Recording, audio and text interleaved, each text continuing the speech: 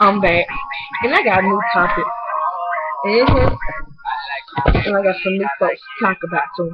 Miss Piggy and Kermit the Frog. Hmm. I like this shit in moment? Mm-hmm. Got something that. Okay, now let's talk about Miss Piggy and Kermit the Frog. Okay. Okay, wait. Did Kermit the Frog and Miss Piggy get married or something that order? Mm. Guess what? But I can't I know when I'm gonna see my mother and go see Imani and everybody else in the hood. I went to the park at the time. And guess who I saw? Kermit the Frog and Miss Piggy from the well, they was in the park, sitting together. They looked so cute. And I was like, oh hmm. Miss Piggy, a fool. Miss Piggy, oh no.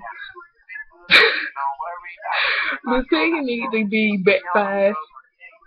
But Miss Piggy and the Frog make a pretty couple. That's just so cute, then Paul. I just want to Instagram their asses so bad.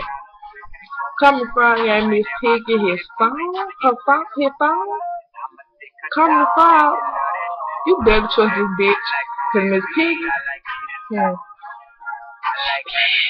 She really playing. Miss Piggy play them. But guess what? This an inside joke, and y'all will never know who I'm talking about. Emmanuel, you know what's down.